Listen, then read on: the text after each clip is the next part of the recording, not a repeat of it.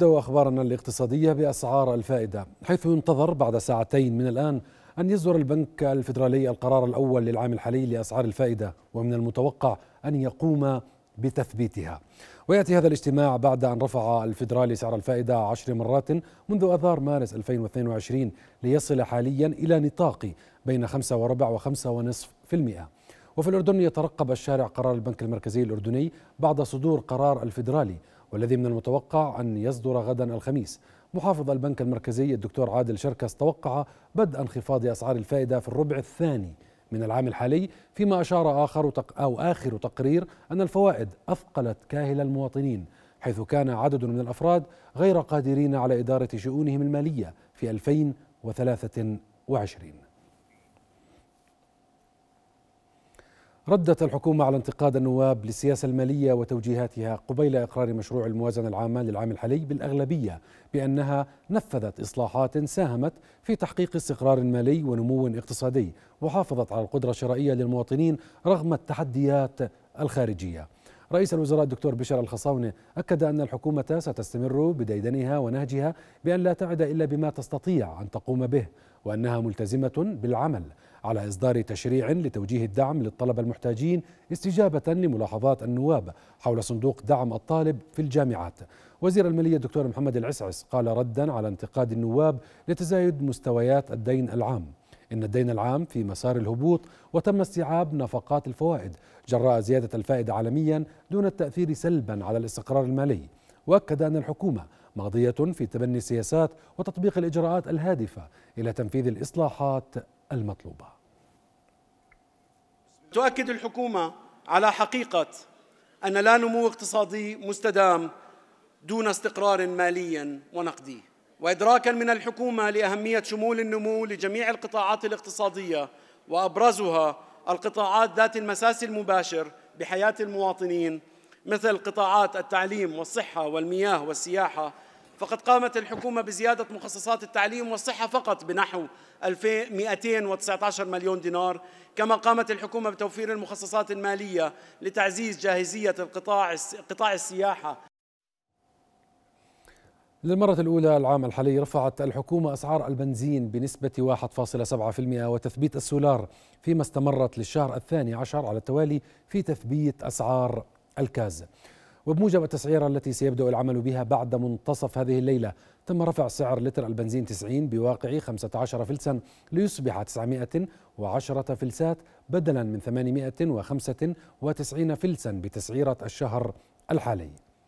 فيما تم رفع سعر لتر البنزين 95 بواقع 20 فلسا ليصبح 1150 فلسا بتسعيرة شباط بدلا من 1130 فلسا. في حين لم يطرأ تغيير على سعر مادة السولار عند 720 فلسا للتر. كما أبقت على تسعيرة الكاز المعمول بها منذ كانون الثاني من العام الماضي عند 620 فلسا لكل لتر. كما لم يطرأ تغيير على سعر اسطوانة الغاز عند سعر سبعة دنانير للاسطوانة.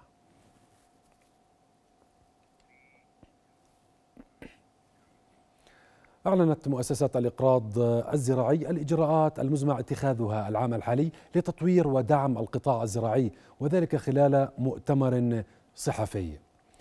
ومن أبرز الإجراءات إعداد خطط إقراضية بقيمة 55 مليون دينار وإلغاء الغرامة المتعلقة بتأخير دفع الأقساط المستحقة البالغة 3% وتخصيص قرابة مليون دينار كقروض دون فوائد لتشجيع الإقبال على استخدام الطاقة المتجددة.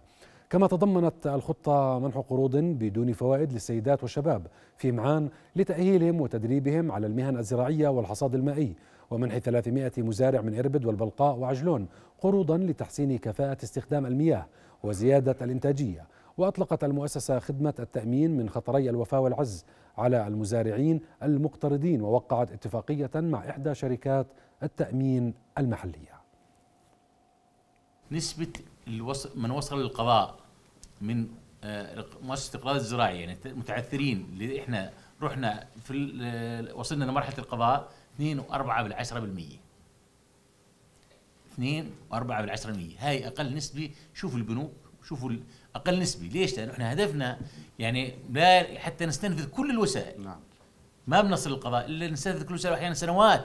حقيقة وإحنا تسهيلات وجدولي حتى نصل للمرحلة نوصل للقضاء. إحنا اليوم بنحكي عن وضع الحمد لله آه، وضع آه، سليم للمؤسسة قاعدين نتوسع في الخطة الإقراضية نتوسع في كل الخدمات اللي نقدر نقدمها للإقراض للمزارع اللي إحنا معنيين فيه. قادرين نصل لمرحلة إنه نترجم توجهات الوزارة وسياسات الحكومة فيما يتعلق في تطوير القطاع الزراعي ولا شك يعني يعني ال النفس الملكي والنفس اللي هو فعلا يعني نبراس بالنسبة لنا إحنا قاعدين نترجمه على أرض الواقع. أعلنت دائرة الجمارك إنجاز مجموعة من المشاريع التطويرية والتحديثية في منطقة العقبة الاقتصادية الخاصة. ومن أبرز الإنجازات التي أعلنت خلال ورشة عمل بالعقبة مشروع إعادة هندسة الإجراءات الجمركية الذي جاء استجابة لمطالبات التجار والصناعيين وإطلاق مشروع القائمة الذهبية ومشروع نظام الموافقات المسبقة والرخص الأردني. مدير عام الجمارك اللواء جلال القضاء لفت إلى أن الدائرة اتخذت إجراءات عاجلة للتعامل مع تباطؤ حركة وصول البضائع من ميناء العقبة بسبب التوتر الحاصل في باب المندب وفعلت خطط الطوارئ ورفعت مستوى التنسيق مع كافة الأطراف. إطلاق القائمة الذهبية في منطقة العقبة الاقتصادية آه، لتسهيل التجار والصناعيين أسوة بالمنطقة الجمركية. آه، موضوع ثاني اللي هو موضوع إعادة هندسة الإجراءات في داخل منطقة العقبة الاقتصادية. آه، بهدف تسهيل الوقت واختصار الوقت وتسهيل على التجار في الزمن والإجراءات والكلفة. الموضوع الثالث اللي هو كان إطلاق موضوع الرخص المسبقة بالتعاون مع الدوائر الأخرى المعنية بإصدار الرخص.